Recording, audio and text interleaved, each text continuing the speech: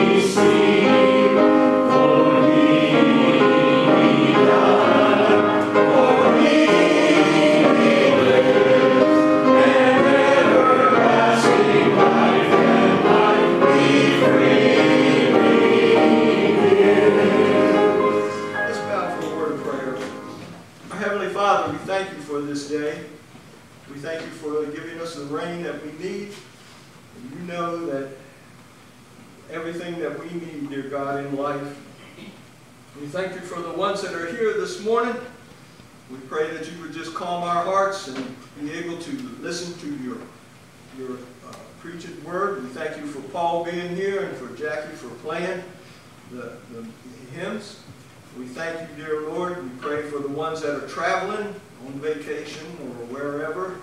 We pray that you would just be with them and give them the rest that they need and that you would bring them back safely to us again. Lord, we pray for all of the sick. We pray for the ones that uh, are in the hospitals, the ones that are, uh, have problems. We pray that you would just touch their bodies and heal them. We thank you for the ones that you have brought back to us, dear God. We pray that you would continue to watch over them. Thank you for this church and thank you for allowing us to be here this morning. We pray that you would just guide and direct us now as we sing and listen to your word. And we thank you for all of these things in Jesus' name. Amen. All right. Let's see. What's the next one? Four seven six. 476. All right. Oh, you made may be seated. 476.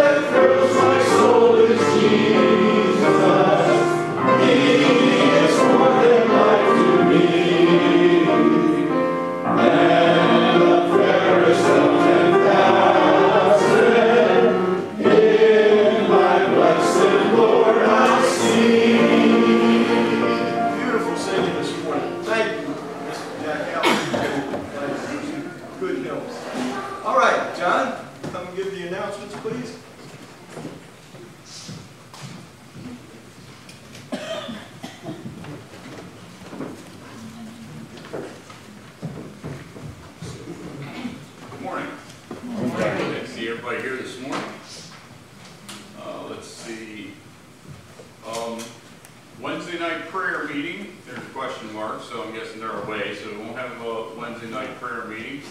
Um, July thirtieth through August sixth is Callie's trip to the DR with Uniontown Bible Church. I believe she has all of our support now, and, uh, she's ready to go, so, uh, be in prayer for her, uh, trip there um, as she goes to the DR, that hearts will be opened and that uh, they'll have safety as they travel and, and all those sorts of things. Um, August 13th is a church picnic at the Algersmas. Uh, service starts at 10 a.m. Uh, bring a dish to share and invite some of your friends and family to come out to the picnic. Uh, August 27th is uh, Sunday spread. Uh, come early, 9:45 uh, ten twenty-five for some food and fellowship, before the service starts on August twenty-seventh.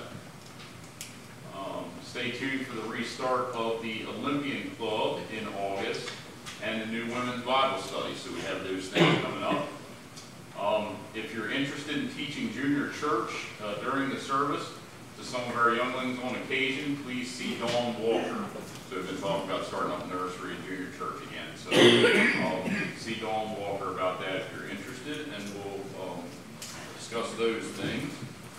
Um, let's see, we're, we're glad to have Bill here with us this morning and continue to, continue to pray for him and, um, Ms. Connie for her shoulder, not here this morning, but if you pray for, uh, her recovery for her shoulder surgery. From what she told me, sounds like things went well, but she'll just be a little while with everything, uh, healing up and, and that sort of. Uh, didn't have any other updates on our list of prayers at this time.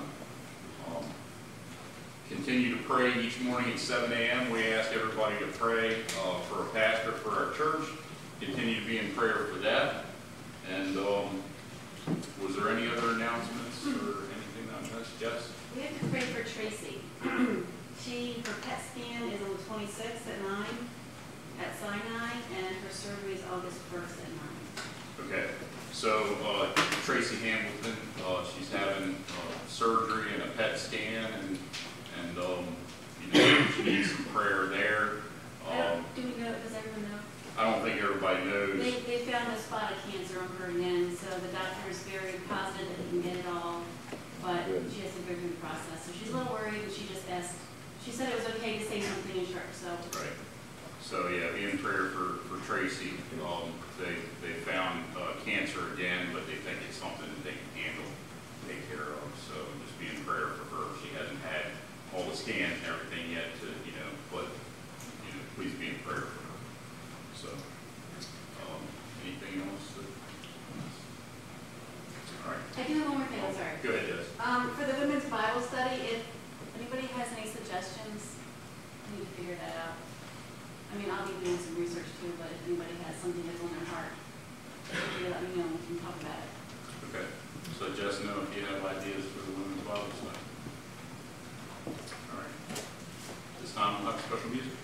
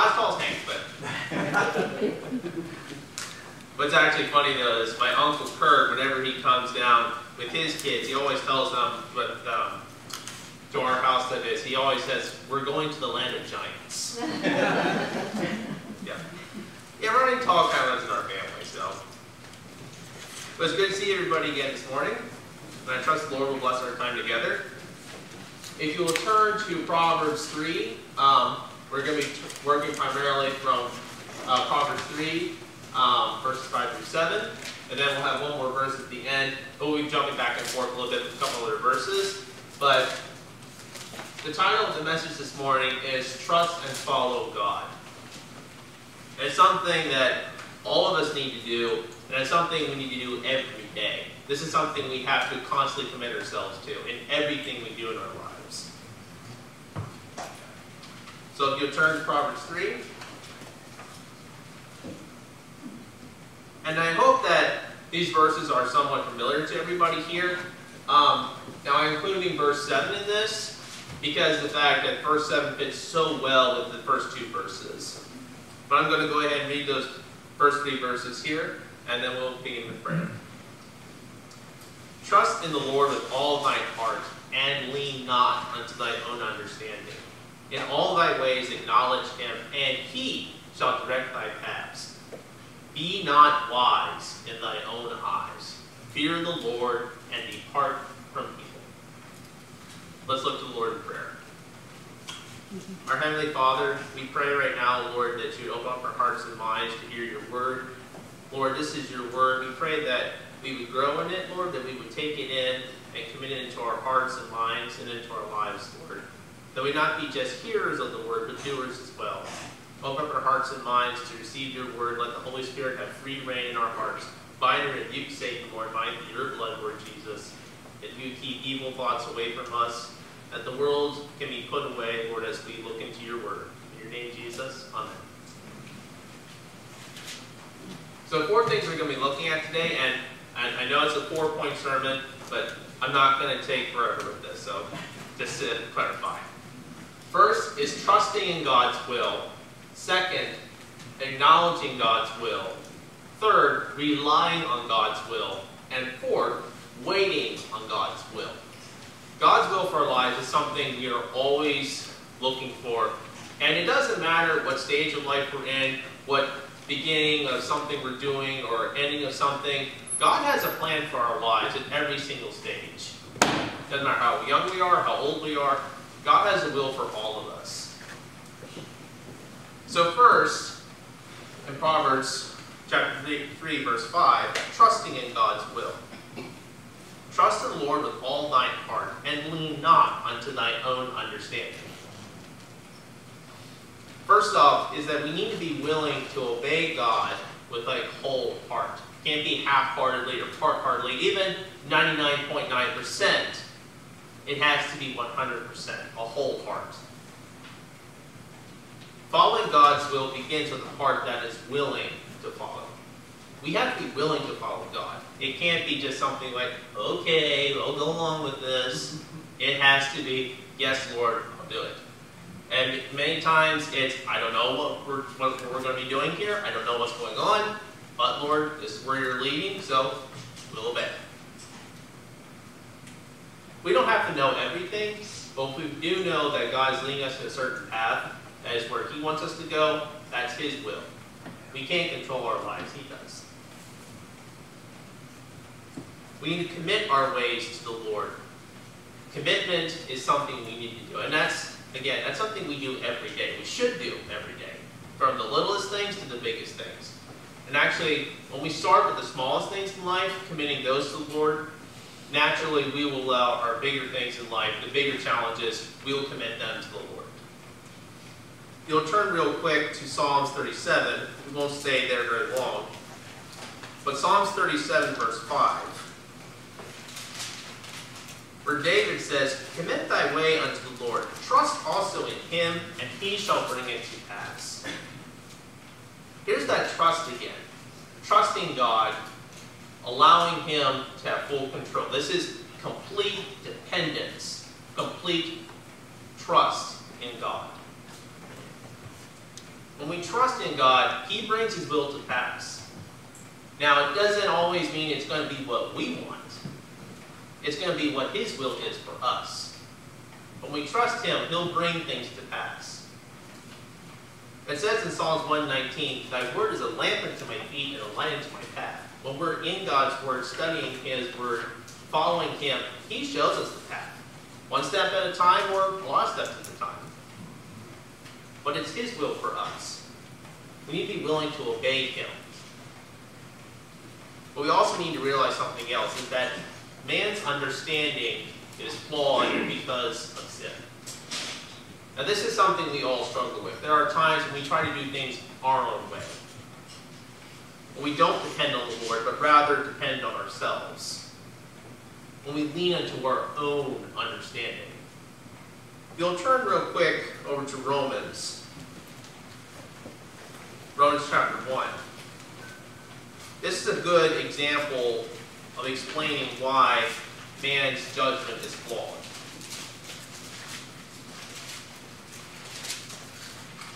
And we're human too. I mean, we were born sinners. We're born with this in nature. We're not perfect. We can't make decisions on our own.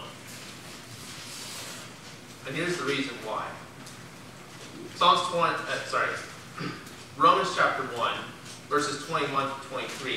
This is talking about when men reject God and rely on their own wisdom. Because when they knew not God, they glorified him not as God, neither were thankful, became vain in their imaginations, and their foolish heart was darkened. Professing themselves to be wise, they became fools. And changed the glory of the uncorruptible God into an image made like unto corruptible man, to birds and four-footed beasts and creeping things.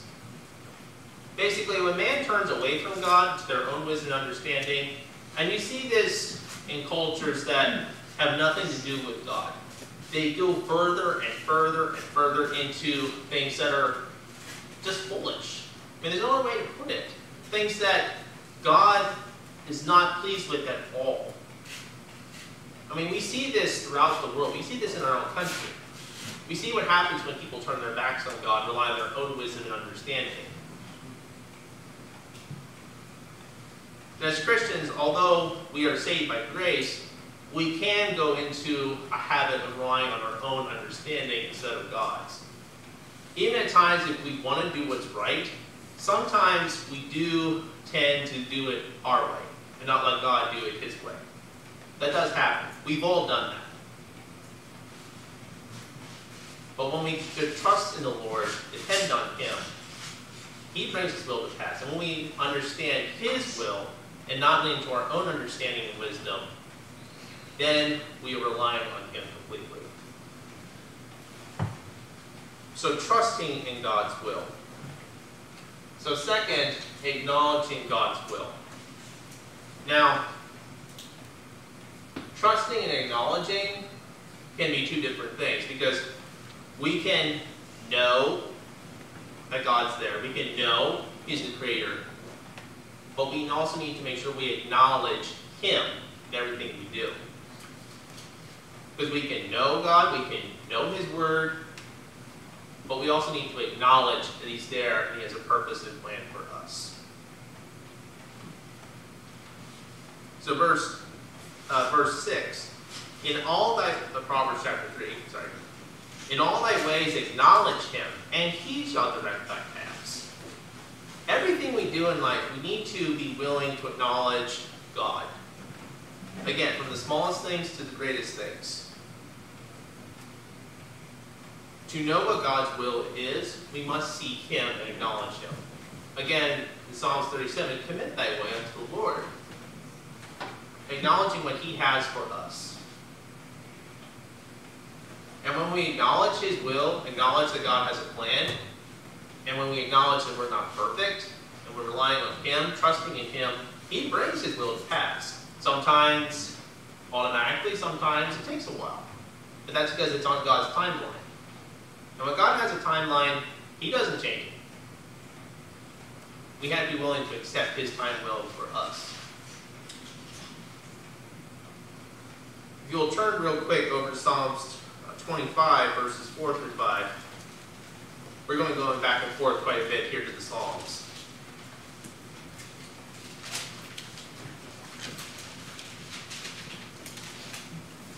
Psalms 25, verses 4 through 5. Show me thy ways, O Lord. Teach me thy paths. Here, David is saying, Show me what your will is, Lord. Teach me thy paths. Show me thy paths. Show me where you want me to go. And verse 5, he follows up with, Lead me in thy truth and teach me, for thou art the God of my salvation. On thee do I wait all the day. You know something? David acknowledged God in his life. He wasn't perfect, of course. He made mistakes. But he acknowledged God, and God led him in the will that God had planned for him. You have to remember, I mean, David, as a young man, he was anointed to be king one day. But he would not take the throne until God said it was time. In all the years that Saul, King Saul, chased him around trying to kill him, David would not raise his hand against God's anointed king until God said it was time for that king to go. And of course, on God's time, I mean, King Saul did die. Sadly, he did die in battle because of the fact he rejected God and rebelled against him. But David did not become king until it was God's time. He waited on God's time, waited on God's will. But also, he acknowledged God's will for his life.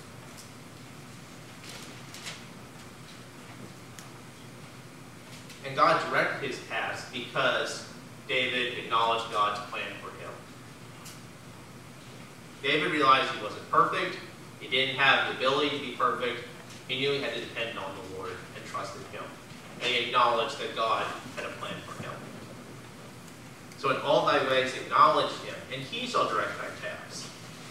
And third, relying on God's will. Now, of course, most of the time when we think Proverbs 3, 5 through 6, we just include 5 through 6. Again, I like to include verse 7 whenever I think about these verses, because this is something of a bit of a warning and a reason why. It's a warning of what happens when man relies on their own understanding. Kind of following up with the first two verses and then showing why. Be not wise in thy own eyes. Fear the Lord and depart from evil. Now, I mean, as humans, I mentioned before, we're not perfect, and oftentimes we rely on our own wisdom and understanding. When we do that, we run the risk of causing huge problems in our lives.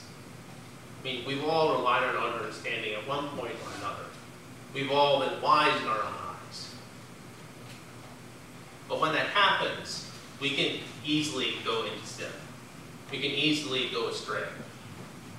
And actually, this happened to one man in particular. In fact, the person who wrote these Proverbs by inspiration of the Holy Spirit. You'll turn real quick to 1 Kings 11. We'll look just briefly at the wisest fool. And you're wondering why in the world I'm saying that? Because this person who wrote this was wise, but became very foolish.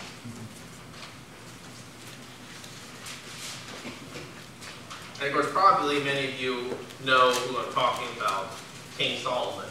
This is King David's son. Um, one of the most successful kings of Israel, and reigned Israel at its premier glory, or premier majesty, you might say, at its, its golden age. Essentially, King Solomon ruled Israel in its golden age of the kingdom, of its earlier days as a kingdom. But one thing that Solomon did, I mean, God gave him um, unbelievable wisdom and understanding because Solomon, as a young man, asked for wisdom when he became king as a young man. When he got older, as we're going to see, he turned his heart away from God because he did things that began leading his heart astray. Particularly, in that day and age, kings would often marry um, like bride or princesses from, or royal family members from other kingdoms to keep peace relations.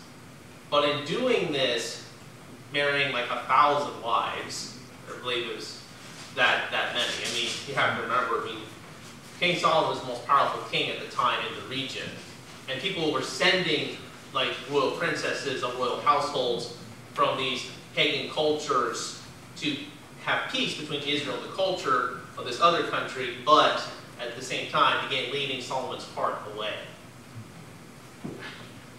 If you look at 1 Kings chapter 11,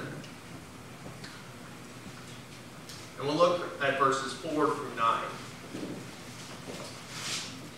For it came to pass, when Solomon was old, that his wives turned his heart away after other gods, and his heart was not perfect with the Lord his God, as was the heart of, David his father.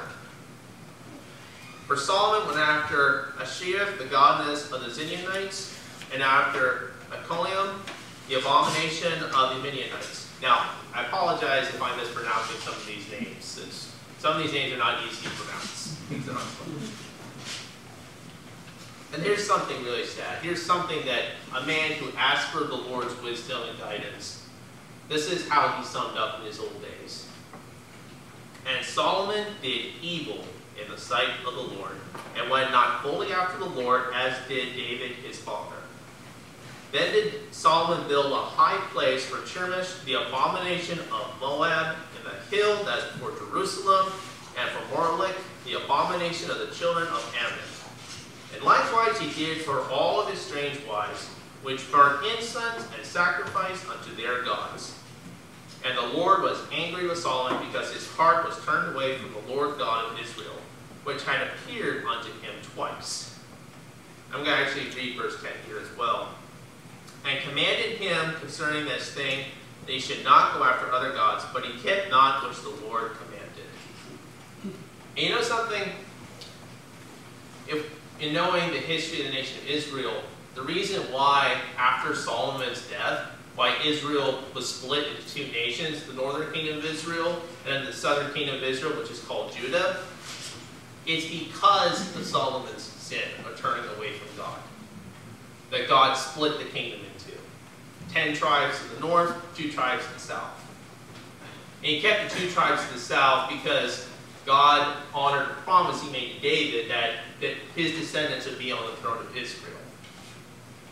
But he punished Solomon because of his sin. And we don't know if Solomon ever got his heart right with God or not.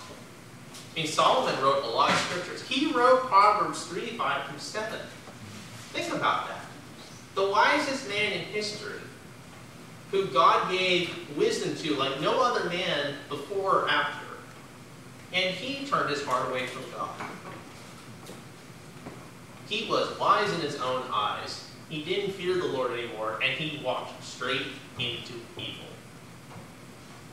And that's a sad reality. Mean, sometimes there are Christians who do that. God wants us to not be wise in our own eyes. He wants us to fear him, not out of, oh, what's he going to do today? No.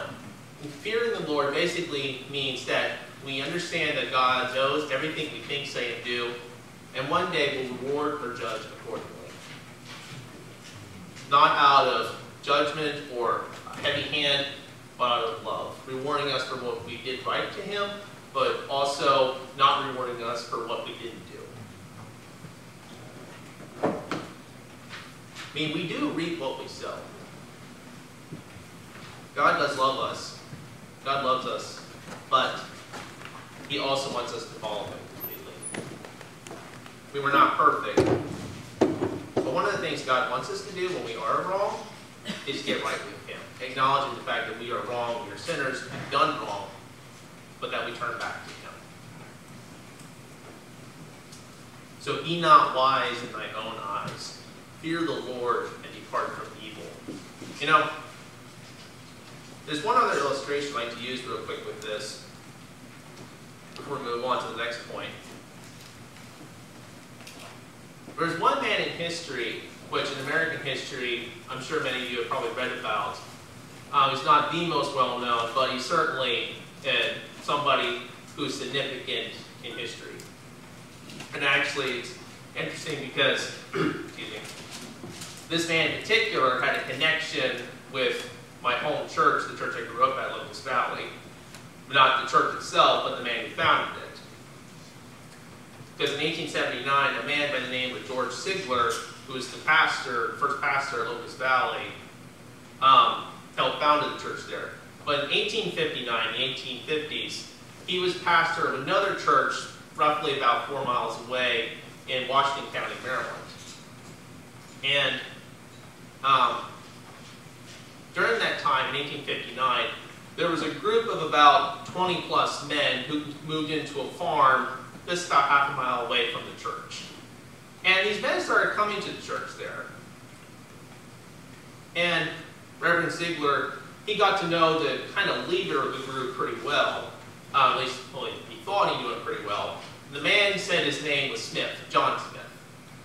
And he said that he and his men were there to prospect for iron ore and also buy cattle. And the equipment that came into the farm in these big heavy wagons, they said was for that purpose. Well, time went on, and the leader of that group actually preached in the church, so did some Sunday school classes. But then in October of 1859, the congregation heard that there had been a raid at a town not far away known as Harper's Ferry. And saying that ring a bell right there? And here come to find out, this man and these men at the church there were the ones who did the raid. And the man's name, who said he was John Smith, his real name was John Brown. Reverend Sigler and his men, they went over to the farm there to see what was going on. And they found some iron oring equipment, which there had been some of that, but that was a cover-up. What they found instead in large abundance were rifles and pikes, basically spears. Of course, as we know, um, if you know American history, John Brown was an abolitionist who wanted to start a slave uprising in Virginia. Now, just based on this, and also from looking at John Brown's life, John Brown claimed to be a Christian. He read the Bible, he studied God's Word, but here's one thing. Although he wanted to end something that was wrong, which is slavery, in doing so, he committed multiple sins. And he was not sorry for what he did. What were some of the things he did? One, he lied to the people the church he went to. He stole stuff that were not his. He actually had men murdered. When he was out in Kansas beforehand, he actually had five people who were from southern pro-slavery states murdered. I mean, you don't really hear about that much, but that was something he did on his orders. He himself didn't do it, but his sons and his son-in-law were involved in that. It's just very sad. But also, John Brown had pride in his heart. He thought he was right. He was self-righteous. And in doing so, he did things that were against God's will. He thought what he was doing would be something God would approve of. But he did things that were against God's word. That God clearly says is sin. Why? Because John Brown was wise in his own eyes. He didn't fear the Lord, and he walked straight into people. In wanting to eradicate a sin, he himself committed multiple sins. Reverend Sigler went to see John Brown before he was executed in December of 1859. And John Brown basically said he regretted nothing of what he had done. And we don't think of John Brown that light, but when somebody decides to do things their way against God's word, I mean, there are consequences. I mean, had John Brown waited and prayed um, to have something end that which was wrong, which of course is slavery, he could have seen that come to pass in 1865 when slavery was outlawed in the United States. He could have seen that. But instead, he did things his own way, wouldn't let God do his will. As a result, it cost him his life, the life of two of his sons, and one of his son-in-laws.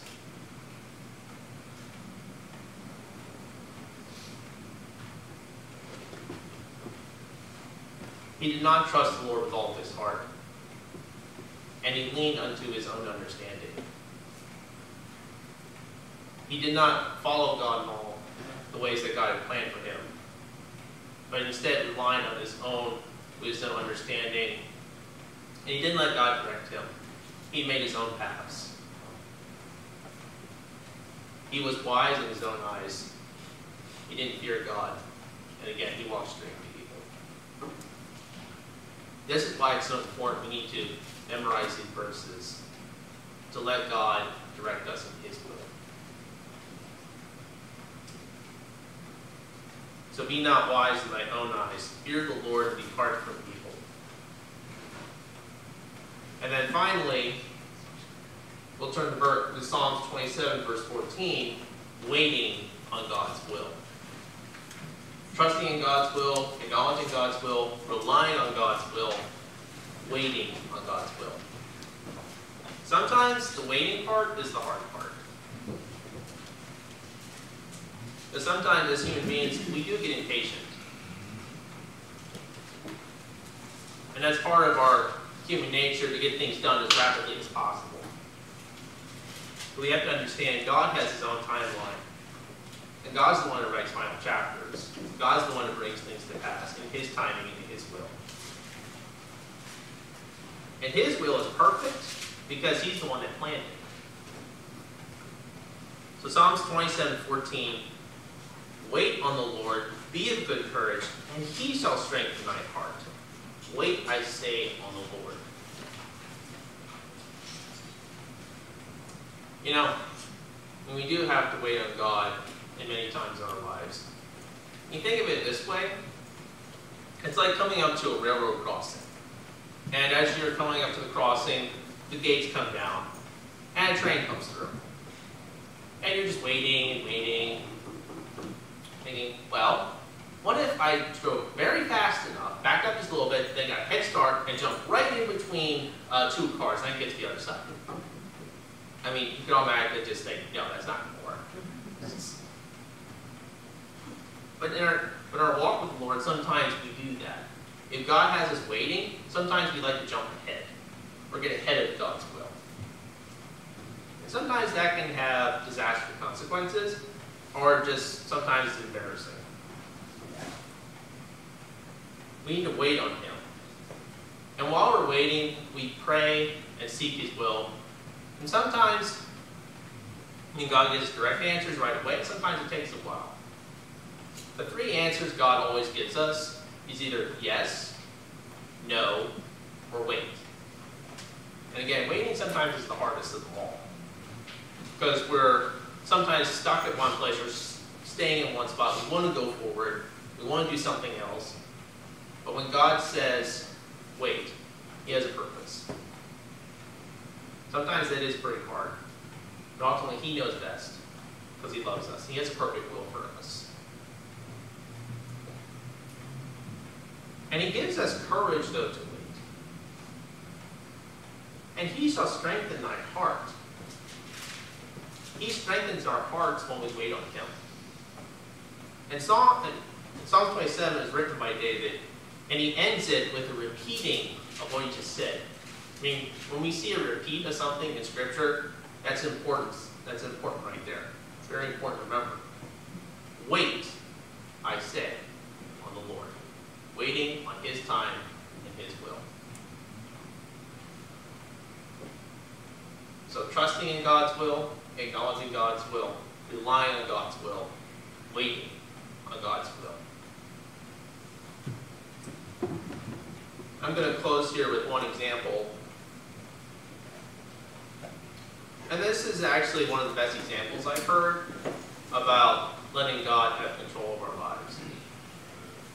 Just picture in your mind somebody getting into their car, driving down the road, and all of a sudden, the man in the car, he looks over and he sees somebody on the road. He, he looks for a bit like, I think I recognize that person. And he recognized it to be a really important person, somebody with huge significant importance. And he's um, kind of shaking his knees a little bit. He's honored to see this guy, I mean, wondering why he's walking along the side of the road. And he stops over and talks to him for a little bit. And he asks, oh, why don't you get in the car? And the important man, he says, no. And, and the driver's like, why, what's the matter? The important person leans in and just says, I don't ride. I drive. Are you ready to let me drive? Put yourself in that driver's seat. You and me. The person on the outside asking, Are you ready to let me drive? That's Jesus Christ, the great God and our Savior. Every day, we need to be willing to let Him take over, to take the wheel. I mean, you can use any illustration right there. I mean, as if it were a boat or a ship on the ocean, let Him steer it, or driving a vehicle or train or whatever, or airplane. You let God be in control of where that's going. We can't control where our lives are going. Only He can. We can only trust Him, acknowledge Him, rely on Him, and wait on Him. When we do all that, He brings His will to pass for our lives. So I'm going to ask you, are you ready to let Him drive your life for you? Who is leading your life today? Is it God or you? That's something we need to think about every day. Something we have to think about every day and decide every day who's in control of our lives. Let's close with more in prayer. Our Heavenly Father, these are passages of Scripture that are very important. Every, every piece of Scripture is important, Lord, because it's written by you. And Lord, every piece of Scripture is important in many different ways. In this, Lord, we see that we need to daily look for you and seek you and acknowledge your will for our lives. Let you have control. But also, Lord, to wait on you. Lord, we pray that you help us to learn from examples in history from like Solomon, Lord, who was wise, who lived his life for you in his early days, but then turned his heart away from you. And also people like John Brown, who wanted to do right, but in reality, they did things that were wrong instead because they thought they were right. Lord, help us to learn from these examples. Help us to learn to be people like King David, who waited for you and acknowledged your, your will for his life. And when he made mistakes, Lord, he got right with you. Lord, help us in our lives that when we do make mistakes or fall on our own path, uh, paths, instead of following your path for us, help us to get right with you and go back to your will for us. I mean, sometimes it's not easy, Lord. I mean, it's not always easy following your will. We don't know that. But ultimately, Lord, it is best. We pray, Lord, to help us to follow the right way, your way, because it's the only way. Because you are the way, Lord. You are true and honest, and you are perfect for us, Lord, because you are our creator and our God. You love us, Lord. You sent your son to die for us. We pray, Lord, that our hearts and minds return to you always. In the littlest decisions in life and the big ones, let our hearts be focused on you. In your name, Jesus.